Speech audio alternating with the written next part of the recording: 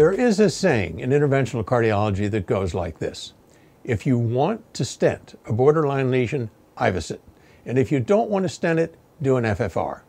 Now in JACC, researchers report on the first study, which stands for Fractional Flow Reserve and Intravascular Ultrasound Relationships.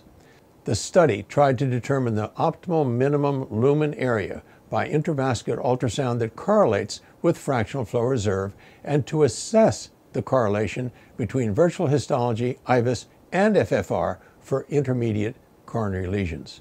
This was a multi-center prospective 350 patient international registry of patients with intermediate coronary lesions defined as 40 to 80% stenosis by angiogram.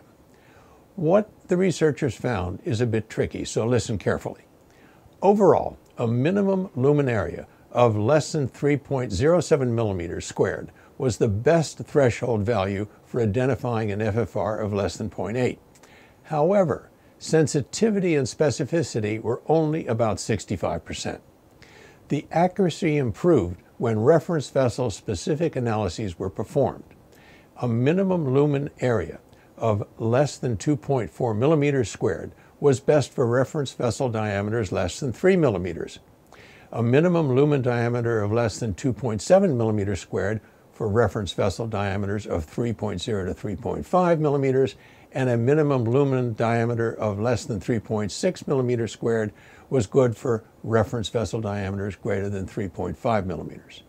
It comes as no surprise that FFR correlated with plaque burden, but not with other plaque morphology. So here's the take home message after all this anatomic measurements by IVUS show only a moderate correlation with FFR values. The optimal cutoff for a minimal lumen diameter by IVUS to an FFR of less than 0.8 is vessel size dependent. Therefore, the utility of IVUS as an alternative FFR to guide intervention in intermediate lesions seems severely limited in accuracy. The authors point out that we need a clinical trial to settle this, and that seems appropriate. I'm Peter Block, and this is a CardioSource Heart Minute.